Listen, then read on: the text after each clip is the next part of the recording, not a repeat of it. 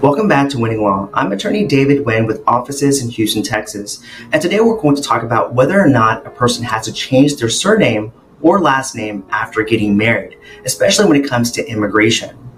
So if you're considering marrying a US citizen or green card holder and you're wondering about this question, I'm here to answer it for you today. So the short answer is no. The United States government does not require foreign nationals to change their surname after getting married.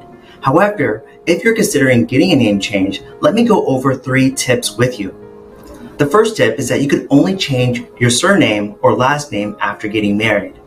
You can't change your first name or your middle name, which many people try to do. So let's say, for example, your name is Ashley Summer Johnson.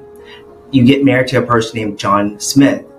After getting married, you can change your name to, you can keep your name as Ashley Summer Johnson, or you can change your name to Ashley Summer Johnson space Smith or Ashley Summer Johnson hyphen Smith, or you can change it to Ashley Summer Smith. You, again, you cannot just magically change your first and middle names. You can't take your last name and then move it to your middle name and then add on a new last name. It's not how it works. The second tip is how to start using your new surname. So if you want to start using your new surname, it's very easy. You just have to start doing it. So if you file your taxes, if you um, sign up for new credit cards, go ahead and start using your new surname or last name. Once you start using it, however, you can never go back to using your old maiden name or your last name before you got married. And this is very important because many people who end up getting a divorce, they think they can go back and just start using their old maiden name, and this is not true. If you want to start using your old maiden name, you actually have to go in and file a name change request, or you have to request for it in your divorce decree. It's not automatic.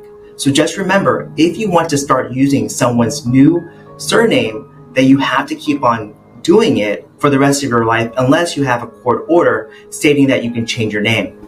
So the third tip involves how to change your name on your Texas driver's license. And this is a question that we get a lot here. If you already have a social security card, you want to go to the Social Security Administration and ask them for a new social security card because you got married. You want to show them the original marriage certificate for them to do this. After you get the new social security card, then you can go to the Texas DMV and ask for a new driver's license with your new surname. Texas makes it very difficult to get a new driver's license with a new surname unless you have a new social security card. So these are three tips on what you should do if you're considering a name change after getting married to a US citizen or green card holder. Again, this is Winning Law. I'm attorney David Nguyen, and we hope that we have made immigration easier to understand.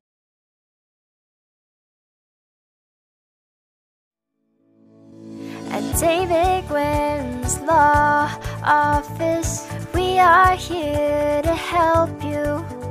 We bring families together through immigration. And on the other hand, we help you find solutions. All your legal needs in the hands of people who care, who are there for you. We'll take care of your loved ones at the law office of David Nguyen.